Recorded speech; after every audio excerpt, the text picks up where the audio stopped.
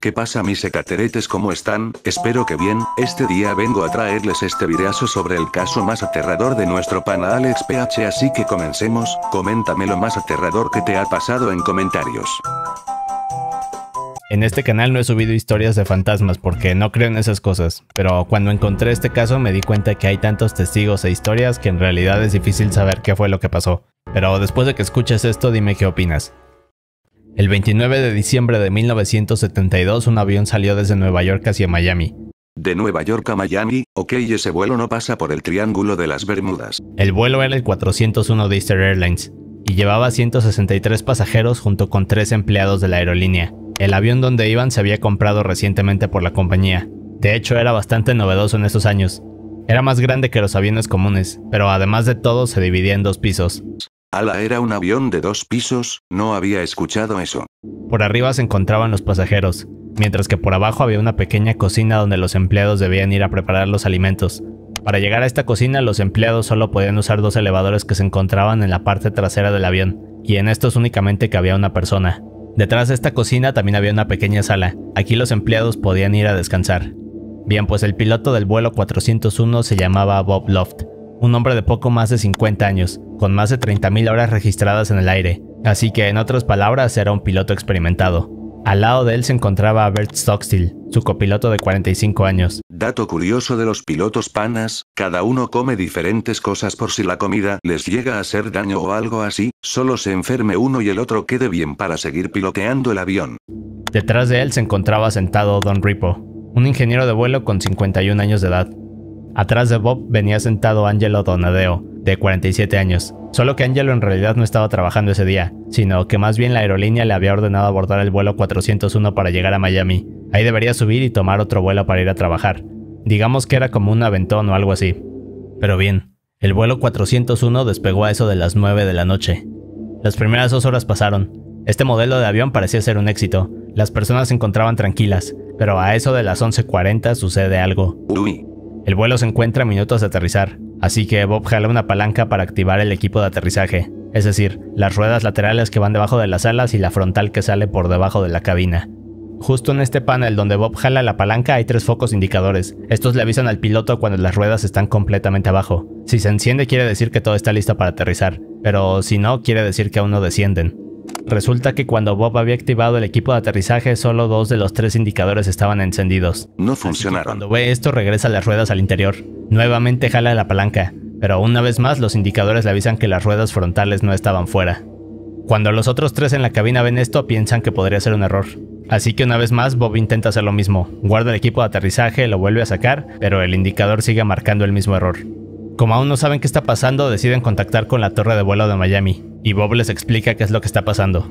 Ok, si las ruiditas de enfrente no salen no puedes aterrizar, ¿y cómo hay que? ¿Qué pasa que tienes que hacer o qué opciones hay? Número 1 sigues volando hasta que bajen las rueditas, número 2 alguien baja a arreglarlo, pero ¿cómo carajo vas a bajar si el avión está en pleno vuelo? Lo siguiente que hacen es desviarse a una zona conocida como los Everglades, una zona tropical llena de agua, así que el avión se aleja del aeropuerto, cuando llegan a los Everglades, Bob activa el piloto automático para mantener la altitud, y después el vuelo 401 comienza a dar vueltas en círculos. Ajá, sí lo que les decía. Mientras intentan saber qué podría estar mal con el avión, le dicen a Don Ripo que baje, y que se asegure que las llantas frontales estén fuera. Para comprobar esto, detrás del asiento del copiloto se encuentra una puerta en el suelo. Esta lleva una sección debajo de la cabina. Así que Don Ripo abre esta puerta y comienza a bajar. Pero hay algo más. Otra opción sería que aterrizaran en el agua pero imagínense, ese avión quedaría completamente descompuesto y los aviones cuestan una la nota. Mientras todos en la cabina veían a Don Ripo bajar por la escalera e intentaban saber qué pasaba, el avión tenía desactivado el piloto automático. ¿Qué? No. No se sabe cómo pasó esto, pero se cree que en algún momento Bob pudo haber movido el volante sin darse cuenta. Esto hizo que el piloto automático se desactivara. Y finalmente el avión fue descendiendo poco a poco. No me lo creo. Pero para hacerlo peor nadie se dio cuenta. Esto era porque estaban en total oscuridad y en una zona donde no había edificios o iluminación, así que aunque se asomaran por la ventana no tenían ninguna referencia visual. La sensación de que vas bajando tampoco se podía sentir, esto porque la inclinación del avión era mínima. Así que finalmente el avión se estrelló.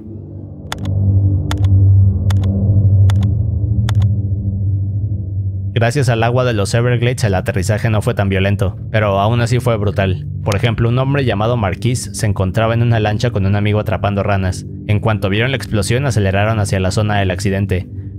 Cuando llegaron aquí lo que vieron fue a todas estas personas lastimadas caminando, a otras más nadando por su vida, pero lo peor era todos los cuerpos tirados alrededor de ellos.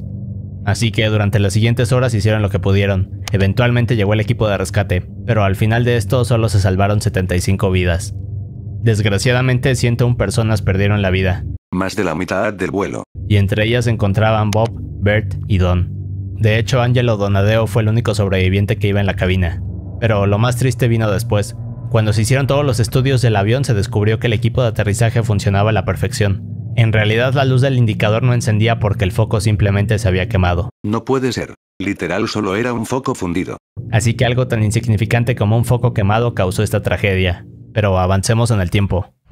Tres años después del incidente del vuelo 401, muchos de los empleados de Easter Airlines comenzaron a reportar un evento. Bien, pues este evento se repetía constantemente, y pronto se volvió un problema para la aerolínea. Lo que pasaba es que los empleados levantaban reportes explicando lo que sucedía en algunos de los vuelos, solo que los ejecutivos y personas de cargos más altos los ignoraban. Otras veces decían que no existían estos reportes. Lo que se sabe es que después del accidente del vuelo 401, Easter Airlines logró rescatar algunas partes del avión. A todas estas partes se les hicieron pruebas y estudios, Finalmente se concluyó que aún funcionaban a la perfección, así que la compañía usó todas estas partes para hacer reparaciones. Pero qué turbio, miren está bien que quieran optimizar los recursos y todo eso pero no manches el hecho de agarrar piezas de un avión que se estrelló, eso es como atraer la mala suerte. O simplemente para cambiar piezas en otros de sus aviones. Uno de estos era el 318. No me digas que se va a volver a repetir la historia. Cuatro meses después del accidente y ahora en 1973, este avión iba volando. Ajá. Era el mismo modelo de jet que el 401. En el viaje estaban Denise y Ginny junto con todo el personal de la aerolínea. Como el vuelo estaba al 90% de su capacidad, las azafatas tuvieron que dividirse en dos grupos, así que unas tomaban las órdenes mientras que las otras preparaban la comida en la cocina. Esto quiere decir que unas estaban en la parte superior, mientras que otras bajaban por los elevadores. Bueno, pues Denise era una de las azafatas que estaba tomando órdenes, como en ese momento no estaba teniendo tantas, decide que es mejor bajar a la cocina y apoyar a Ginny. Denise entonces camina por el pasillo hacia la parte trasera, toma el elevador y baja. Solo que al mismo tiempo que iba bajando, Ginny venía subiendo en el segundo elevador. Es decir, que tanto Ginny como Denise pasaron exactamente el mismo tiempo una al lado de la otra, pero no había manera de que se dieran cuenta. Denise entonces llega a la cocina. Panas las fotos en blanco y negro me dan como que mal rollo, de que hay algo tenebroso dentro de ellas. Mientras tanto en la parte superior Ginny sale del elevador y comienza a repartir órdenes. Cuando termina se acerca a sus compañeros y les pregunta dónde está Denise. Sus compañeros le dicen que justo acaba de bajar a buscarla. Así que cuando Ginny escucha esto se da la vuelta, camina de regreso al elevador y baja para llegar a la cocina. Cuando abre la puerta del elevador lo primero que ve es la cocina vacía, pero siente que Denise está ahí.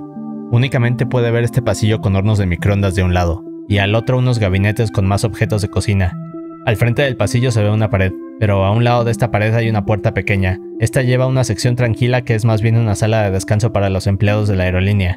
En otras palabras, el pasillo se dividía en dos zonas, la cocina en la parte frontal y la sala de descanso en la parte trasera. Bueno, como el espacio es muy pequeño en la cocina y Ginny no puede ver a Denise, piensa que está al otro lado en la sala tomando un descanso. Mientras espera que salga, toma unos platos y comienza a preparar comida. No se me ocurre que le pudo haber pasado, solo que se quedara atorada en el elevador. Un par de minutos después siente algo raro, como si alguien estuviera con ella. Ginny no le da mucha importancia y sigue preparando platos. Mientras hace esto comienza a pensar que Denise no está descansando en la parte trasera, sino que más bien está escondida, y que en cualquier momento saldrá gritando para asustarla. Así que se comienza a poner ansiosa, y entre más lo piensa más seguro está de que Denise saldrá de algún lado, posiblemente de algún gabinete, o quizás por la puerta del final del pasillo para jugarle una broma. Los minutos siguen pasando y todo en la cocina está muy tranquilo y silencioso, algo que de hecho le empieza a dar más ansiedad a Ginny. Así que deja los platos que estaba preparando y comienza a voltear hacia todos lados para ver dónde estaba escondida Denise. Voltea hacia los elevadores, también hacia los gabinetes para ver si no hay una puerta que se esté abriendo. También voltea hacia la sala de descanso. Pero por más que intenta saber dónde está Denise, no puede verla o escucharla. Así que Ginny da unos pasos para atrás y comienza a caminar por la cocina. Hace todo el ruido que puede para que Denise salga de una vez y termine con la broma, pero aún así no pasa nada.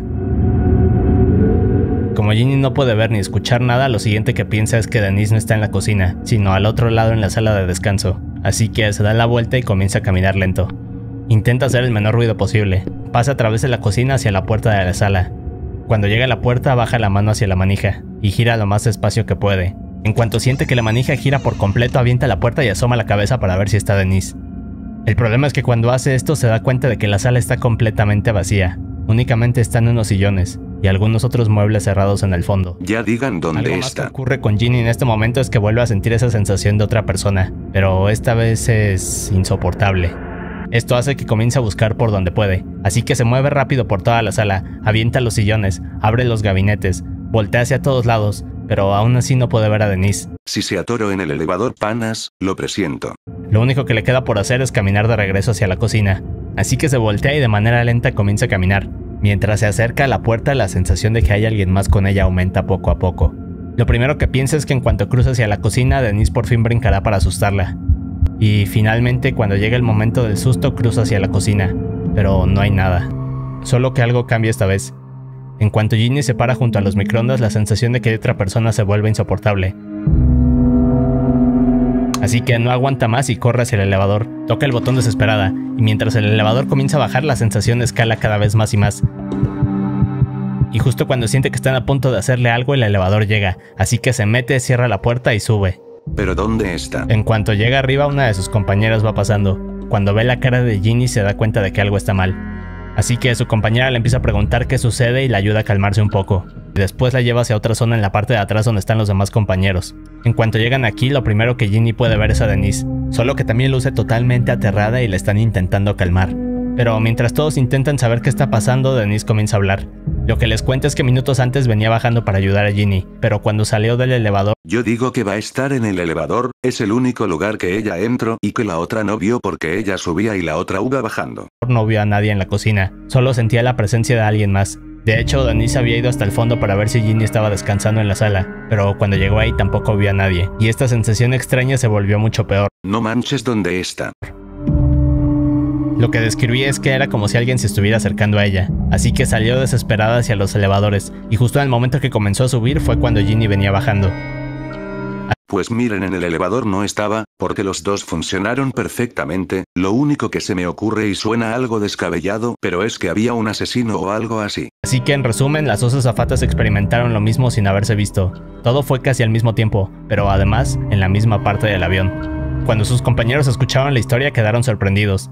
Ginny y Denise intentaron levantar un reporte, pero la aerolínea jamás les creyó. Ah ok ok, les paso a las dos, las dos chicas vivieron la misma fea experiencia, y nunca se vieron porque cuando una bajó la otra iba subiendo y cuando la otra iba subiendo la otra bajaba, qué extraño eso si es sincronización, pero miren ese avión estaba hecho con las piezas del otro avión entonces yo pienso que algo va a tener que ver eso. Y esto apenas era el inicio de las anomalías en los vuelos de Eastern Airlines. Pocas semanas después de lo que pasó con Ginny y Denise, otro vuelo se preparaba para el despegue. Minutos antes de que todos abordaran, una de las azafatas había salido a la sala de espera e hizo un conteo de personas para saber cuántas irían en el vuelo. Cuando termina de hacerlo, se mete al avión y minutos después despegan. El viaje era bastante corto, así que el vuelo no duraba más de dos horas. Pero cuando pasa la primera hora, la misma azafata se para para hacer un segundo conteo. Solo que esta vez hay un error, porque cuando vuelve a contar a todas estas personas se da cuenta de que hay alguien más. Así que la azafata comienza a caminar entre las filas, y cuando llega a la primera clase se da cuenta de por qué había cometido este error. Lo que pasaba es que en esta primera fila de primera clase un capitán de la aerolínea se encontraba sentado. Claro que esto no tenía nada de raro porque era costumbre que los empleados de la compañía usaran otros vuelos para trasladarse a otras ciudades. Así que cuando la azafata ve a este capitán se acerca y le pide su registro. Solo que este hombre no le contesta. Simplemente se queda viendo hacia adelante. La azafata piensa que no lo escuchó, así que se acerca un poco más y le habla más fuerte. Le vuelve a preguntar lo mismo, y de nuevo el capitán no responde, solo sigue mirando hacia enfrente. Va a ser un capitán fake, o sea solo se vistió como capitán pero no era. Mientras esto sucede, al otro lado del pasillo otra azafata puede ver a su compañera hablando con este capitán. Como no logra escuchar qué es lo que está pasando, se acerca un poco. En cuanto llega con su compañera se da cuenta de que este hombre no responde. Chance era un fantasma. Así que entre las dos discuten un poco y después vuelven a preguntarle lo mismo. Pero aún así no logran hacer que hable, solo sigue mirando hacia enfrente. Lo que hacen en este punto es ir hacia la cabina del piloto. Cuando llegan ahí le explican todo lo que está sucediendo. El piloto entonces deja a cargo al copiloto, se sale de la cabina y camina hacia donde está este hombre. Para este punto todos en primera clase se habían dado cuenta de que algo pasaba al frente con este hombre, así que cuando llega el piloto repite las mismas preguntas que sus compañeras, pero aún así esta persona seguía sentado. Ya estaba petateado. No hacían nada más que mirar hacia el frente. Lo que hace en este punto el piloto es agacharse, se acerca a la cara del capitán, y casi al mismo tiempo que hace esto se echa para atrás asustado. Nadie entiende qué está pasando, pero todos tienen demasiada curiosidad. De manera nerviosa el piloto les dice a las azafatas que este hombre es Bob Loft, el mismo piloto del vuelo 401. Pero que... Si se supone que ese piloto ya estaba con Diosito. No había manera de que este piloto se equivocara, porque conocía a la perfección a Bob. De hecho eran muy buenos amigos. Pero justo cuando el piloto le está explicando todo esto a las azafatas, el capitán rápidamente se desvanece ante todos. Así que tanto las azafatas como el piloto quedan aterrorizados. Es que para que hacen aviones nuevo con piezas de aviones accidentados, eso pasa por querer ahorrar. Las personas que estaban viendo todo esto por atrás se pusieron peor. En toda la sección de primera clase habían gritos de horror. Como el piloto no entendía lo que acababa de suceder, le ordenó a todos que buscaran por el avión. Durante la última hora de vuelo se hizo la búsqueda por los pasillos, en el área inferior, en el área de abajo de la cabina, incluso en el área de equipaje pero aún así no lograron encontrar a este capitán misterioso, y nadie podía explicar qué es lo que estaba sucediendo. Ala. Y finalmente cuando llegaron a su destino, lo primero que hicieron tanto el piloto como las otras dos azafatas fue levantar el reporte a la compañía, pero al igual que Ginny y Denise, nadie les creyó. Y un dato interesante de esta historia es que semanas después, cuando varios empleados se enteraron de esta anécdota, pidieron el libro donde se encontraba el reporte acerca de este capitán misterioso, solo que la respuesta de los superiores fue que no había ningún capitán que se desvanecía, también dijeron que estos tres empleados estaban mintiendo.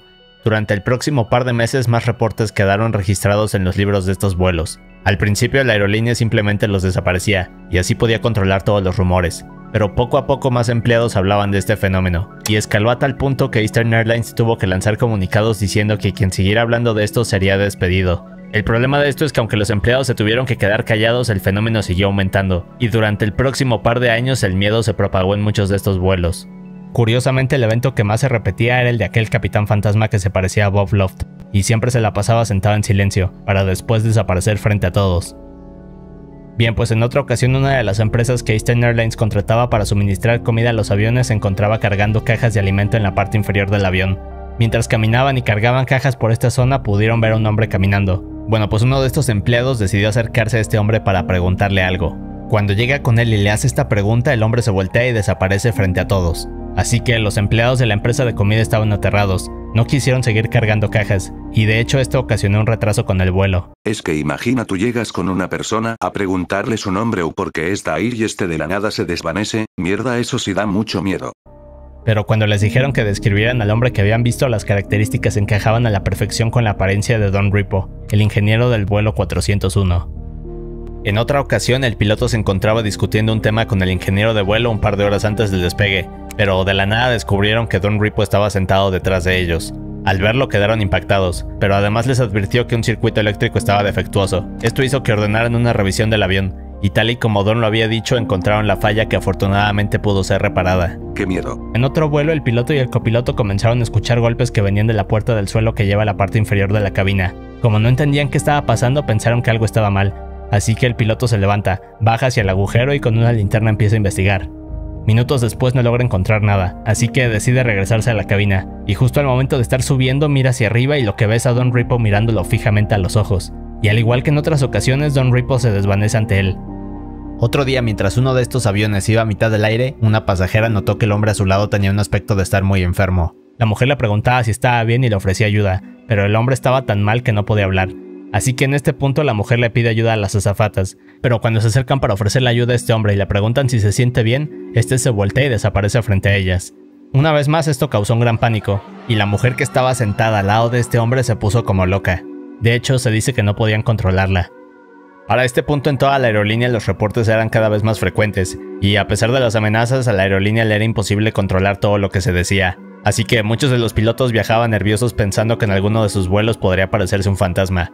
En el caso de las empleadas era peor porque muchas veces debían bajar solas a la cocina. El problema es que esta era la zona más frecuente donde se veía uno de estos fantasmas. Es que si imagínate, tú vas bien tranqui a la cocina a prepararte un cafecito y ves a un brother ahí pasando a la sala para echarse un sueñito. Un ejemplo de esto es la historia de una azafata. Esta mujer venía saliendo de la sala de descanso para tomar uno de los elevadores, pero en el momento que estaba cruzando por la cocina vio a un hombre de uniforme arreglando uno de los hornos de microondas. Horas después, cuando el vuelo llegó a su destino, la azafata le preguntó al ingeniero de vuelo si había logrado arreglar el horno. Cuando el ingeniero escuchó esta pregunta quedó confundido y dijo que él no había arreglado nada. Carajo. La azafata seguía insistiendo en que había visto al ingeniero de vuelo arreglar el horno, pero en cuanto le mostraron una foto de Don Ripple se dio cuenta que en realidad había visto un fantasma. What the fuck? Pero el ejemplo más extraño y sorprendente fue el del vuelo 318.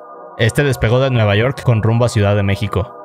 Una azafata llamada Faye se encontraba en la cocina preparando alimentos, cuando alcanza a ver algo en la periferia de sus ojos. Al principio no puso mucha atención, pero cuando voltea a ver se da cuenta que en el vidrio de uno de estos microondas se veía el rostro de Don Ripple.